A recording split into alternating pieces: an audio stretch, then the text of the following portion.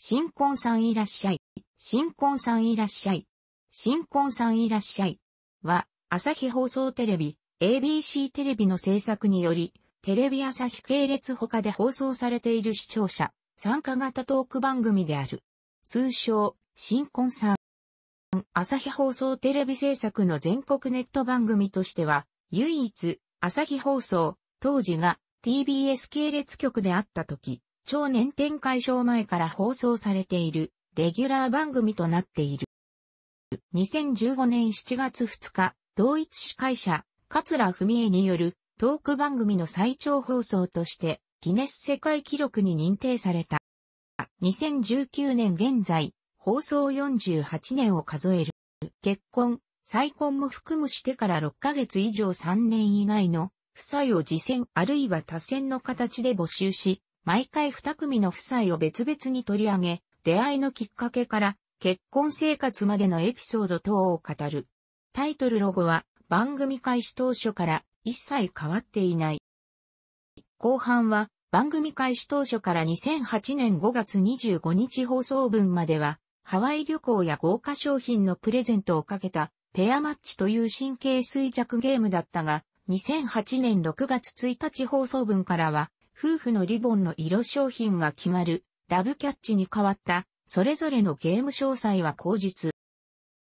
トークでは、敬語は使わず、大阪弁、もしくは、地方出身の場合は、方言でのやりとりをしている。最近のトークバラエティ番組で多用されている、字幕スーパーを、放送開始以来一貫して用いていない、だし総集編で、過去の VTR として放送する場合などは、例外としてトークの内容を字幕スーパーとして表示されたものが放送される。なお、切り替え式の字幕放送でやりとりの内容を確認できる。また、司会者は物体ベタ、ゲストは上手に座る。これらは直後に放送されるパネルクイズアタック25でも同じである。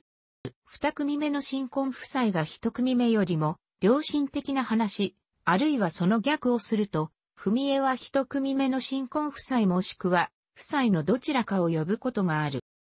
年内最終放送には、スペシャル版が放送され、その年の総集編や特に印象的だった、面白かったカップル10組程度を招き、その後の新婚生活や家族について、VTR などを交えながらトークする。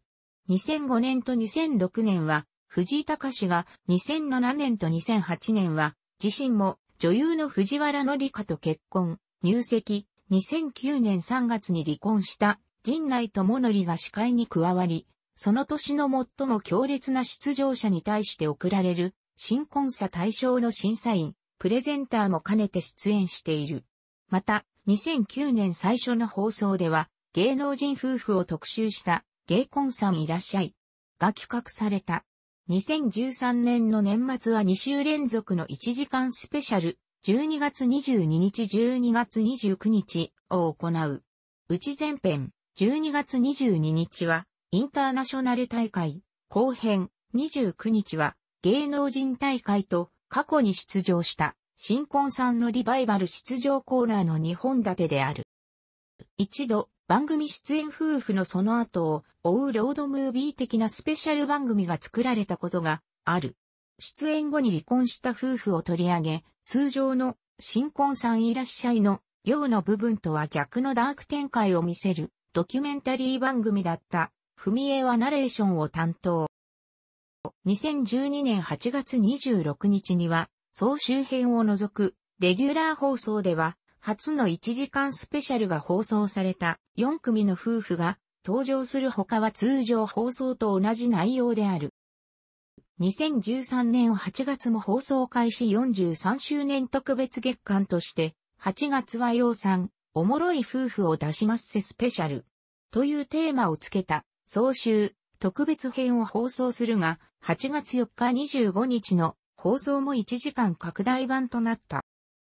稀に海外での公開録画も行われている。出場した新婚夫婦には出場記念、参加賞として、スポンサーからの商品と他に、腕時計と賞金5万円、そして2008年6月1日放送部により、参加賞として、イエス、ノー枕が贈呈されている。1999年月までは、ホテルプラザ、それ以降2007年12月頃までは、リーガグランドホテルのペアでの特別宿泊券も贈呈されていた。予選会参加者にも番組特製グッズが贈呈される。2010年11月、現在で予選参加者は延べ8000組以上、著名人であっても予選会に参加する。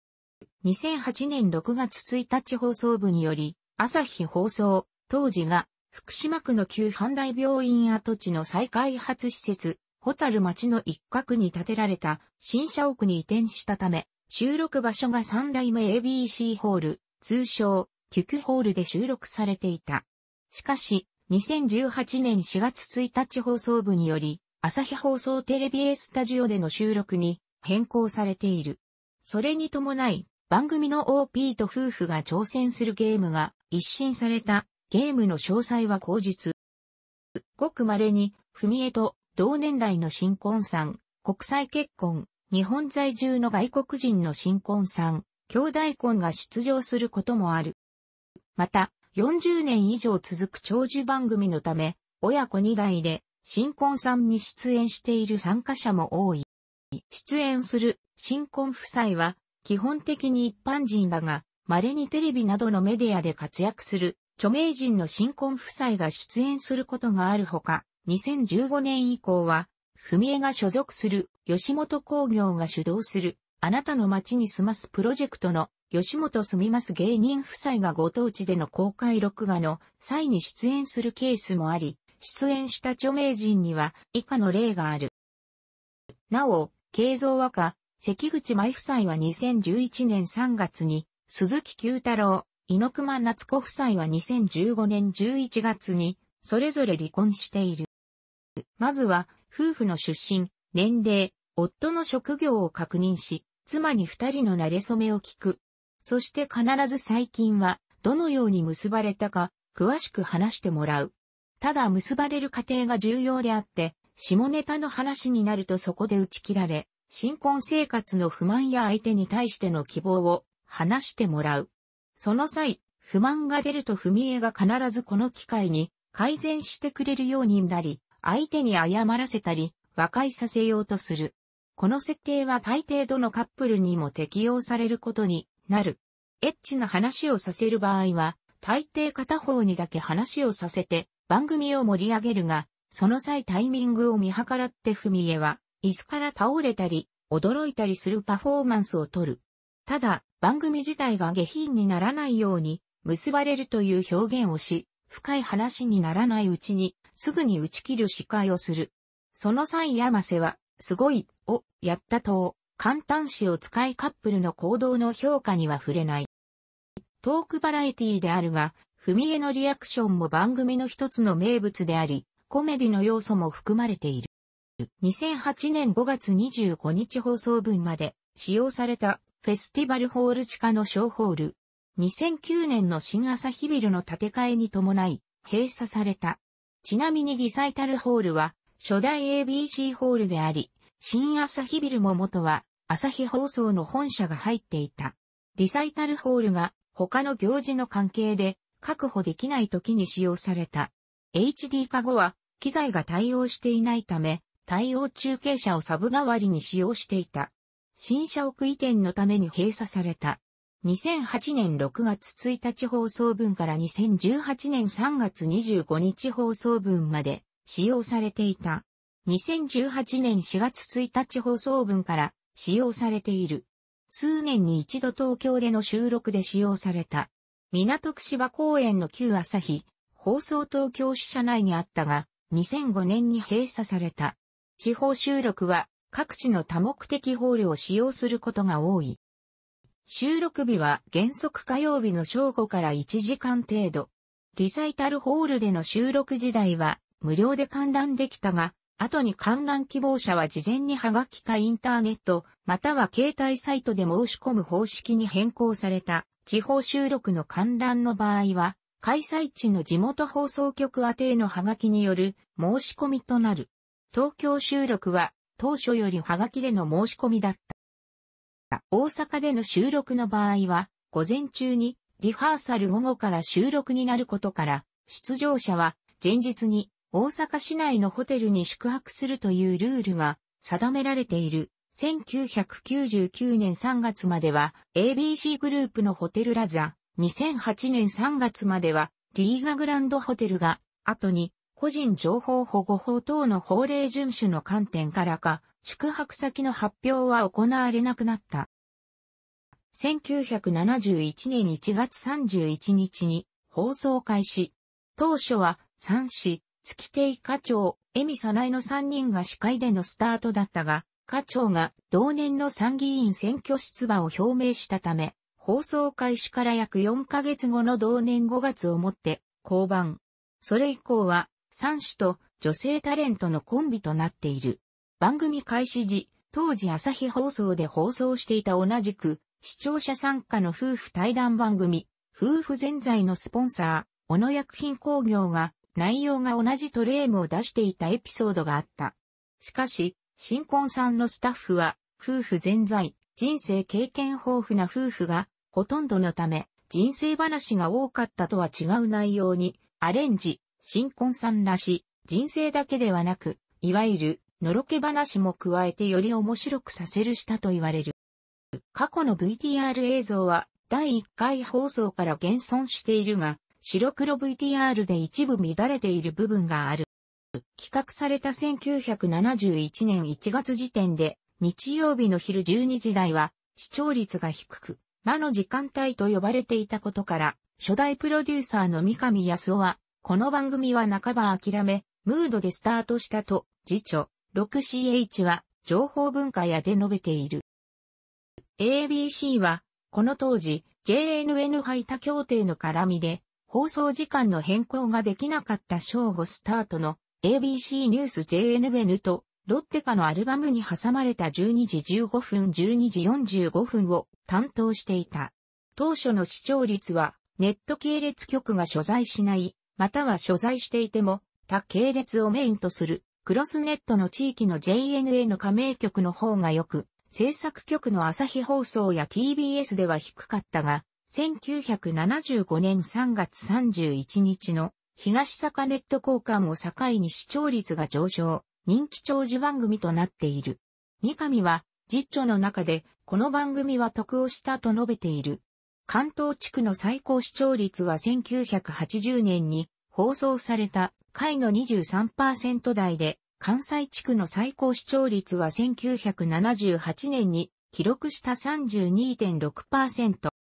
スタート当初は TBS 系列にて12時15分開始、12時45分終了で放送された。1975年4月6日、毎日放送と朝日放送の東京キー局、ネットチェンジ、いわゆる超年点解消によってネット系列に移行し、放送時間も従来の12時15分開始、12時45分終了より30分、ずらして12時45分開始、13時15分終了へ変更された。以降視聴率が上昇し、朝日放送における代表番組の一つとなった。1994年10月2日からテレビ朝日系列は日曜日の正午からの番組を12時55分まで延長したため、さらに10分ずらして12時55分開始、13時25分終了に変更された。現在もなお放送されており、2010年1月で放送40周年を迎えている。なお、桂文江は第1回の放送から現在まで司会を担当しており、これは60年以上の日本のテレビ番組史上でも最長の司会記録誇る。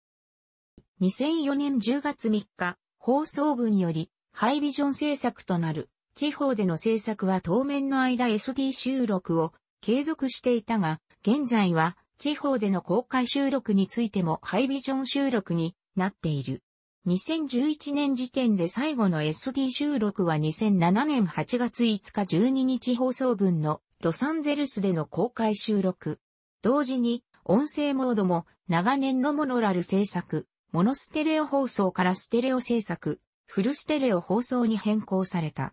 2004年10月22日に司会の3子イコール3子にちなむ34周年を記念して、特別雑誌、新婚さんいらっしゃい。雑誌になってもいらっしゃいが、2007年には、桂三氏のああ夫婦と題された番組を題材にしたエッセイ集も全国発売された。2010年7月4日よりアナログ放送ではレダーボックス放送となった。2011年7月17日をもってアナログ放送は40年間の歴史に幕を閉じた。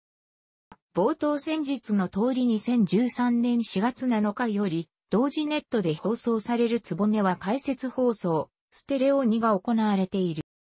また、報道特別番組を編成したことによる休止には、以下の事例がある。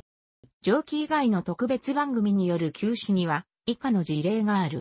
二組の新婚夫婦のトークが終わると、ペアマッチというゲームが行われた、片平なぎさが、アシスタントの頃、一時期、パネルマッチという別のゲームに変更されていたが、1984年10月7日、放送部により視聴者の要望で復活。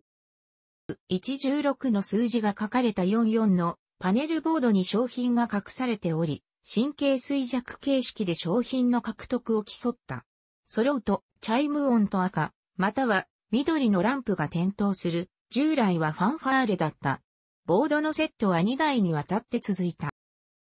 先行、後攻はくじ引きで決め、先端にハートがついた棒が2本入った筒が用意され、夫婦2組がそれぞれ棒を筒から引いて決めていた。赤いハートが先行、透明のハートが後攻となった。筒は3子が用意し、くじ引きが終わると筒をセットの裏へ放り投げた。かつてはトランプによって先行、後攻を決めていた。大きな数のカードを引いた方が後攻となった。商品にはノートパソコン、DVD レコーダー等の高価な商品もあれば、イエスノー枕、口実やたわしといった商品まであった。バブル期の景品は非常に豪華であり、運が良ければ、出演記念商品と海外旅行、家電など100万円以上の景品を得ることができた。バブル崩壊後はスポンサーが減少して、景品提供が少なくなり、テレビ局側の都合もあって、出演記念商品も景品も減少、さらに安値や現金となった。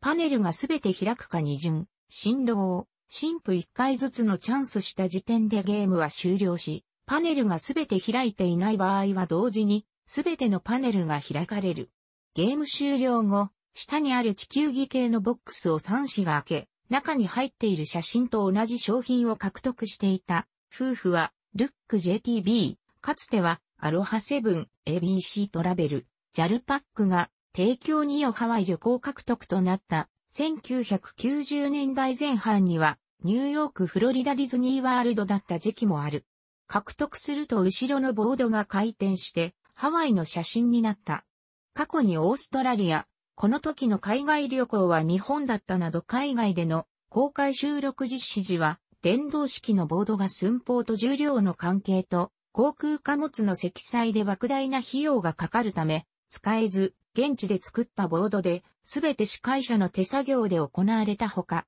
地球儀が開かなかったというハプニングがあった。かつては、招待券、目録が下に隠れている商品を獲得した夫婦が、海外旅行、交流行を獲得することになっていた。なお、1978年頃までは、海外旅行はなかった。地球儀の中に入っていた商品は、ノートパソコン等の高価な商品だった回は滅多になく、ほとんどの回がたわしで当たる確率が高かった。過去には耳かき、金槌、バケツ型の小型洗濯機などで、たわし登場前はイエスの枕がハワイの定番商品であった。年に数回程度は、新婚夫妻が全部のパネルを開けたり、二組で完全住み分け、または一組で総なめ状態になること。パネルが残り2枚になった時点で自動的にもう一つの商品も獲得となった。この時最後の2枚は、3氏がバンとバも開けてくださいと、パネル操作担当のスタッフにパネルを同時に開ける指示を出した。逆に2組とも1個も商品が獲得できないということがあった。中には1巡目で全部を開けたり、2巡目先行で全部開けたこともある。すなわち二巡目高校へ行かずに終了。商品の配置は規則性がある場合が多く、完全なアトランダムに配置されているわけでないので、推定によりわずかながら確率を上げることは可能。2回しかチャンスがないため、商品をより多く獲得するには、高校の方が圧倒的に有利だった。ペアマッチ終了後には、出場した夫婦に贈られる番組スポンサー各社からの記念品の紹介がされていたが、2007年時点では、番組の冒頭の一組目新婚さん登場前に紹介されている。2007年4月放送分よりハワイ獲得失敗の BGM がこれまでの番組開始時以来36年間使われてきた魔の抜けた BGM から非常にシンプルな新しい BGM に変わった。ハワイ獲得時の BGM は音程が若干変わっている以外は番組開始時以来ほぼ同じである。ハワイ獲得時の BGM の最後部分は、もともとは同曲のひらめき大作戦で使われていたもので、同番組終了後、ワイワイサタデーでも使われていた。なお、現在のラブキャッチでもハワイ旅行獲得時に、この BGM が使われている。当初は、賞金獲得時もハワイ旅行獲得時と同じものを使用していたが、新たに別の BGM が使われている、迫力のあるもの。ハワイ獲得失敗の BGM は従来のものに比べシンプルなものになっている。こちらも現在のラブキャッチでもハワイ旅行、賞金とも獲得失敗、たわし獲得時の場合に流れている。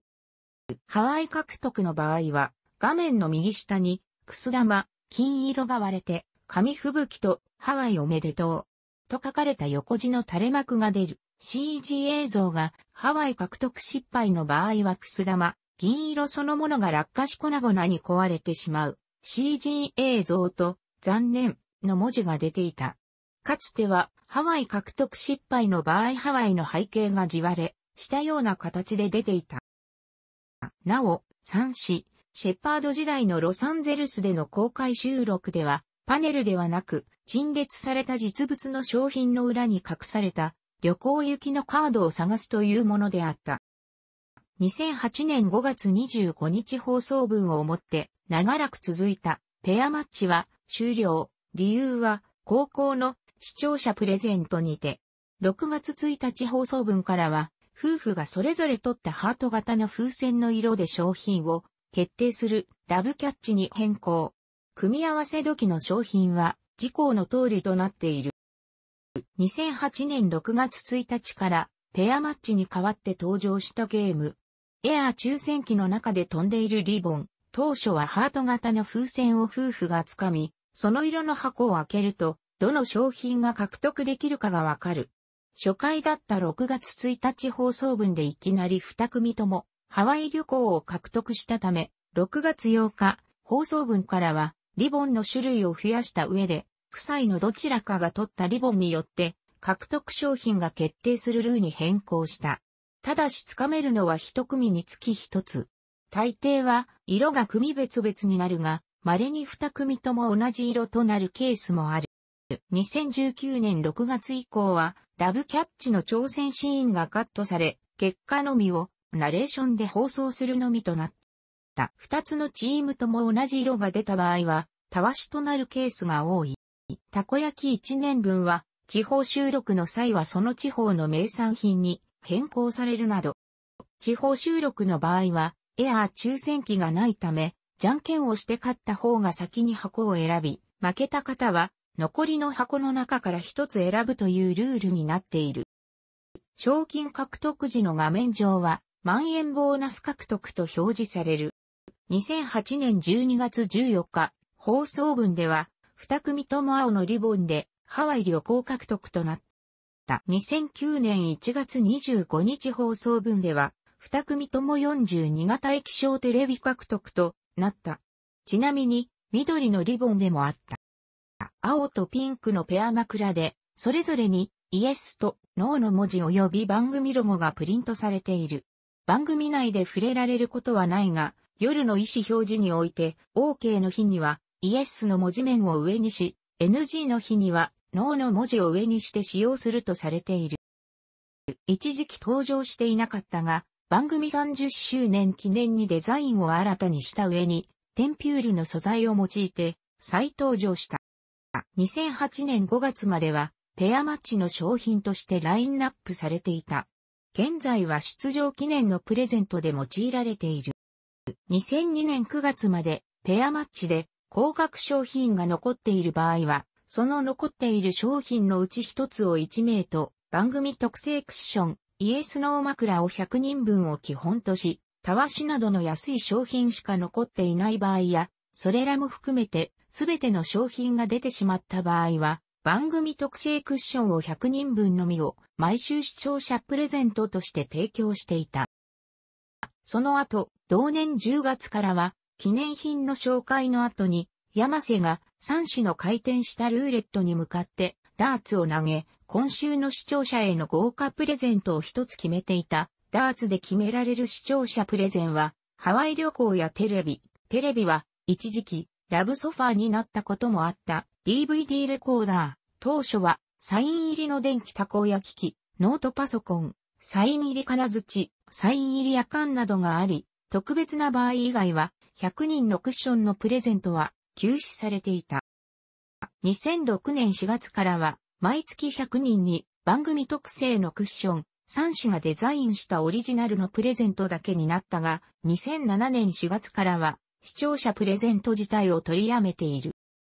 取りやめた理由は、2008年に朝日放送の新社屋移転、阪大病院跡地に2008年移転のため、その建設費や現社屋からの引っ越し準備とその費用や局舎の放送機能の切り替え工事で莫大な費用を使用ることや、原社屋や大阪タワーそしてホテルプラザの解体費用に莫大な費用を使用すること、これらの資金を確保することから余計な経費を削減するためと言われている。また、高価な商品、テレビ、DVD レコーダー、ノートパソコン等が頻繁に獲得したカップルもいたことや視聴者プレゼントもされていたこともあり、応募総数がかなりの倍になっていたことや商品を調達する商品の費用が高騰したためと言われている。なお、一時期応募期間限定で3種が執筆した本が30人に当たる視聴者プレゼントが行われてた。ペアマッチがラブキャッチに変わったのもそれが遠因となっている。視聴者プレゼントはハガキによる応募で行われていたものの2005年4月から6月まではテレゴングによる視聴者プレゼントが実施されていた時差ネット局では応募不可だった。7月には、ハガキでの募集に戻っている。テレゴングは、東西、NTT の加入電話回線からしかかけられないため、応募自体ができない場合がある。